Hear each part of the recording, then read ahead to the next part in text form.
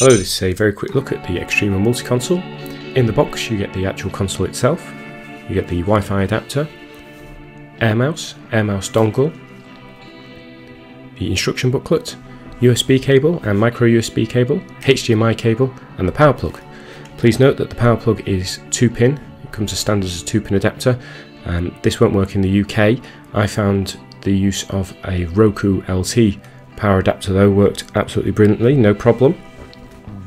The actual box itself has the Wi-Fi antenna on the side, it has the power in, Ethernet, optical out and HDMI out and on the back side it has the SD card slot and two USB ports.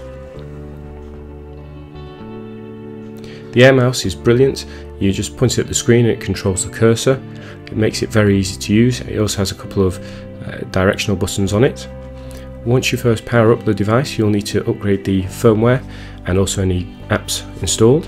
And then once you're in, you get a very nice interface, very easy to navigate to. The top right contains easy to get to buttons such as the App Tray Play Store.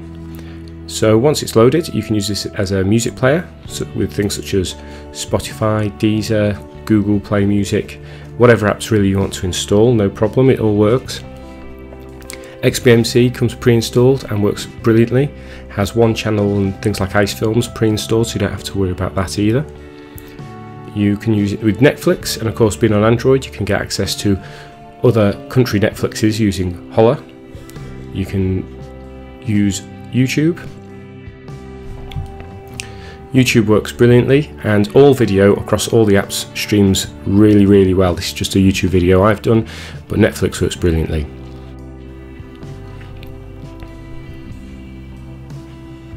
The menu itself, as you can see, it, it works quite well, but the icon loading can be a bit laggy.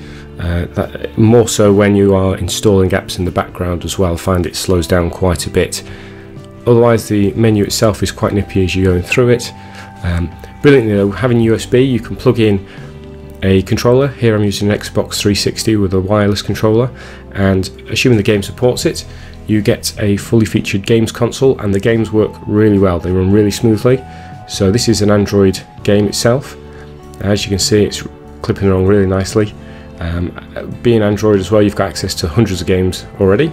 If you don't fancy Android games, of course, you can do a bit of retro gaming uh, with this is this is X-Men with MAME, or you can use a more modern emulator if you fancy something more like a PSP or PlayStation. Really, any, any kind of emulator. If you had a keyboard, you can now use this as a mini PC workstation, and it works really well.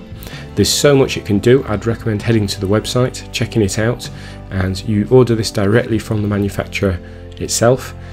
Scroll to the bottom, you'll see buy now, 129 euros, free shipping worldwide, uh, but you may need to pay import duties. I'll put a link to all of this in the description below. Any questions, please ask.